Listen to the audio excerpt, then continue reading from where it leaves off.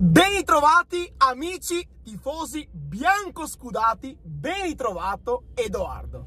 Buonasera a tutti, popolo di YouTube, mi sono Mustang in versione padovana e io mi tengo stretto questo pareggio, non sto a sputarci sopra, va bene. Va Ce bene lo teniamo così. stretto questo Va pareggio, bene. eh? Partita giocata comunque a viso aperto da entrambe le squadre, molto bene loro, molto ordinati, noi come al solito spregiudicati, ne viene fuori un pareggio giusto.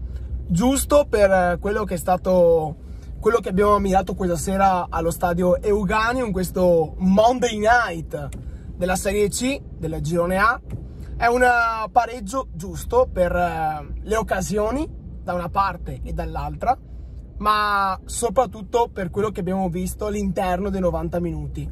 Feralpi Salò che è venuto a fare la partita rispetto alle ultime volte e questo punto è davvero d'oro per eh, i Leoni del Garda.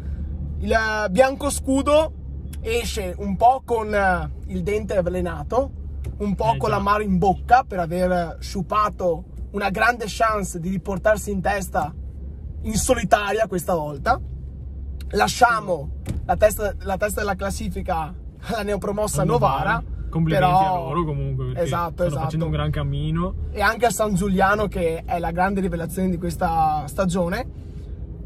Io però continuo a dire che questo anno è bellissimo venire allo stadio, è bellissimo vedere giocare la squadra, una squadra che gioca, che propone un'idea di calcio, l'idea di Esatto. Bruno Caneo. Le idee di Bruno Caneo sono spregiudicate. Sì, siamo anche magari un po' fragili difensivamente, ma va bene perché vediamo un. Padova.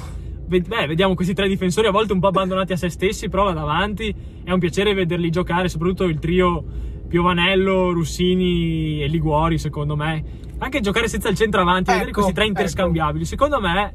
Piovanello eh, falso 9, visto l'assenza per infortuni di Michael De Marchi, quindi non preferisce, non fa partire titolare per la seconda volta in questa stagione Fabio Ceravolo. Ceravolo che però entra e sfiora il gol Sfiora del il 2 gol. 1, Sì, diciamo grandissimo intervento del, Che nel secondo del tempo- Pizzignaco. Nel secondo tempo, comunque, noi molto meno brillanti rispetto al primo tempo. L'occasione migliore ce l'ha Ceravolo, comunque, che è stato forse quello che entra- degli, dei, dei nuovi entrati è stato il migliore, secondo me. Quello che si è fatto vedere un po' di più, quello che ha portato anche un po' sulla squadra, che ha preso anche qualche calcio d'angolo. Poi gli altri subentrati non sono stati all'altezza, secondo me. Ti dico, non mi ha titolari. neanche comunque dispiaciuto Franchini per come è entrato. Ha fatto Sì.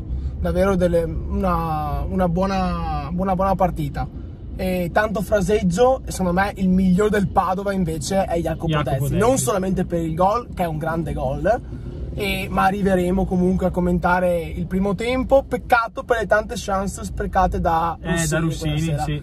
Al nono, sull'errore di Bergonzi. Sì, esatto, di E Elenic, che- Elenic è stato molto bravo a Forse, servire forse poteva, d'argento. forse poteva tirare anche prima, però Esatto. gliel'ha messa perfettamente a Russini che era davanti alla porta, poteva centrarla benissimo, angolare invece calcia fuori clamorosamente. Quello secondo me è l'occasione più grande che abbiamo avuto perché poteva tagliare le gambe alla Feralpi Sola perché prendere un gol subito così era una botta morale incredibile. Esatto, esatto. Russini che si divora anche su un altro errore difensivo della formazione di Stefano Vecchi, questa volta al 39esimo, un tiro al volo era molto complicato, però era un'altra potenziale chance.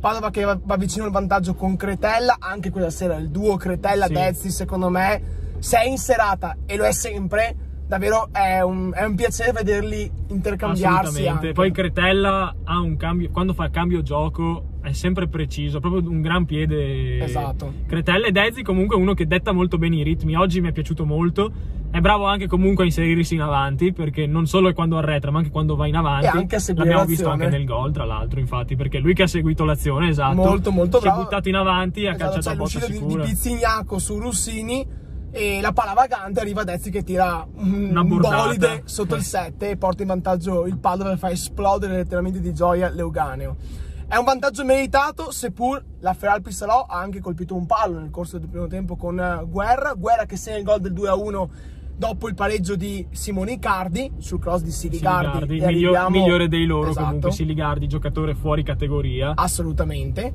Ce ne sono due in questa serata. Uno È Jacopo Dezzi. la maglia del bianco scudo, l'altro invece è Luca Siligardi, ex Livorno, Parma, che abbiamo vinto- vis- visto tante volte qui a Leuganeo in Serie B E un piccolo accenno, io vorrei comunque dare un saluto a un grande ex e li ha legati. Eh sì, legati. 124 presenze, 5 reti con il Padova tra il 2010 e il 2014 e secondo me gli ex che valgono bisogna sempre ricordarli. Assolutamente, beh, poi Legati è stato anche un protagonista di quel Padova che sfiorò la Serie A. Esatto, esatto. Uno dei perni della difesa a volte messo terzino, ricordo da, da, dal canto, però vabbè, insomma, quando giocava centrale comunque era bello. Era il suo l'ha sempre fatto. E anche comunque anni... nella Feralpi esatto. è, leader, è, lui il leader della difesa. Ricordiamo a 36 anni, non è un caso che giochi ancora titolare in Serie C. Esatto, assolutamente.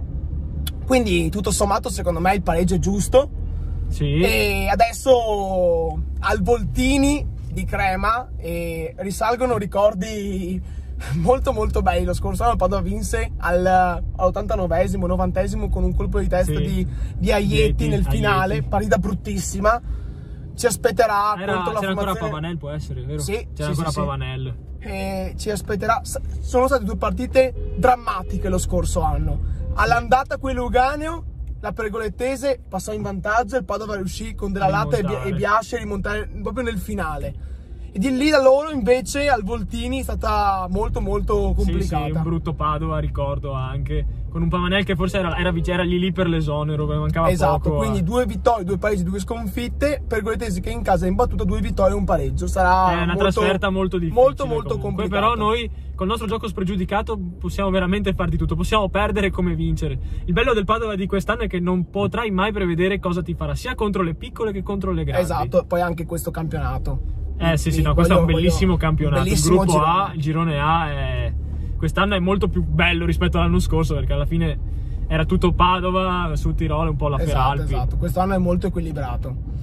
Ragazzi, teniamoci stretto questo pareggio e andiamo a Crema a portare a casa i tre Dai, punti. Edoardo, grazie per l'occasione, sempre un piacere. Anche per me, dai, torneremo ancora allo stadio, vi faremo ancora i video insieme, il Mustang con The Man of the Sport, Walter. Dai, dai, andiamo, forza Padova. Forza Padova. Andiamo avanti. Dai, dei motosi, dai. Grazie per l'attenzione, lasciate tantissimi like al video, iscrivetevi come sempre al canale e seguitemi anche su Facebook e Instagram. Noi ci vediamo in un prossimo video. Ciao. Forza Padova. Forza Padova.